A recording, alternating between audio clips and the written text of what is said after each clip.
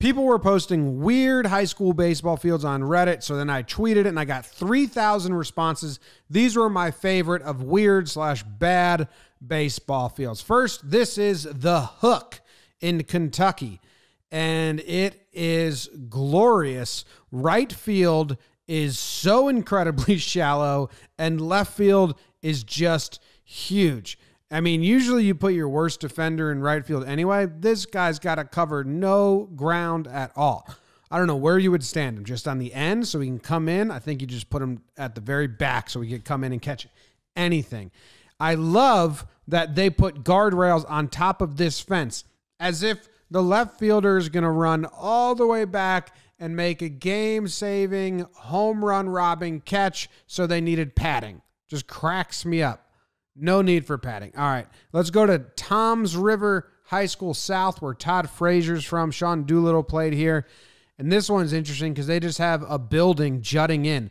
And I just have dreams of a ball coming here and the right fielder chasing it. And the right fielder thinks it's going to hit this side. And so he's tailing it this way. And then the ball hits right here and it's got some speed and it just loops this way. And now this fielder came this way. He's got to come that way.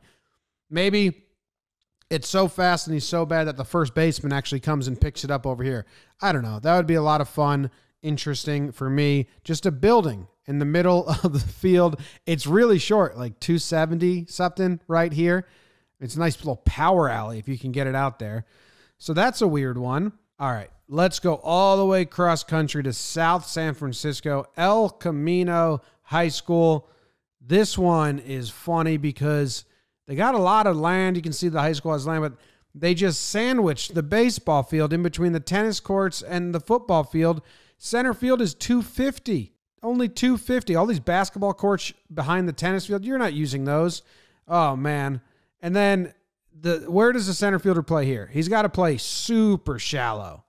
I think he's got to play super shallow. Those basketball courts, you probably could have stacked the tennis courts, moved center field a little bit. I don't know. And if you actually look in close on the center field fence, there's something in the middle of it that it's a ground rule double right here. Over there, if it goes above there, it's a ground rule double. So you could hit a bomb over the trees, over the tennis court, and you just be standing right on second base right on second base. The outfielder on this one, I think you play five infielders.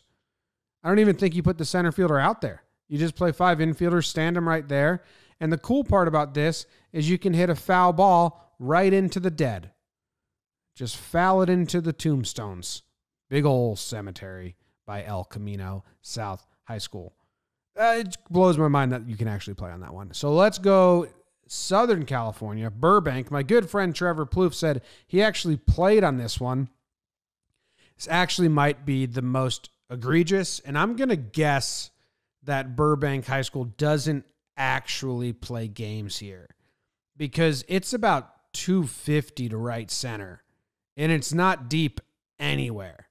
I'm going to guess this is like freshman ball or whatever. They can't even put a warning track because if they did, it would be just all dirt.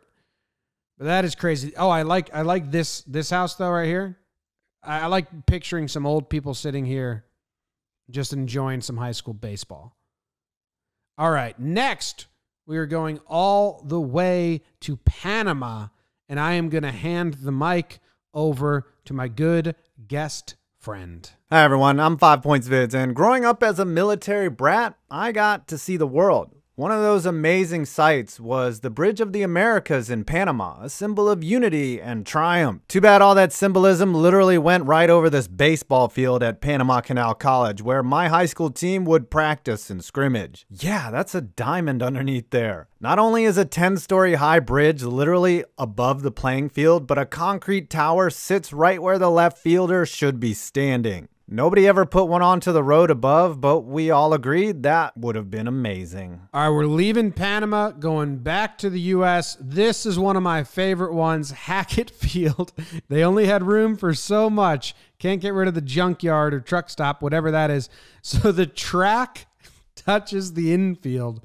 I hope that there was track races and baseball games at the same time. At one point, they fucked up the scheduling, and you have people just racing while a game is playing.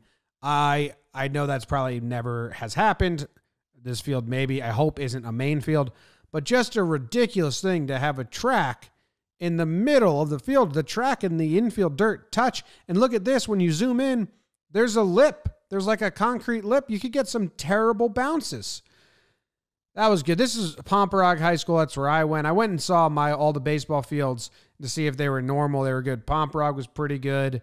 And then I even went and checked out the old field I played on in middle school, which was in Illinois, Chestnut Corners, Warwick Park, and that was pretty good too.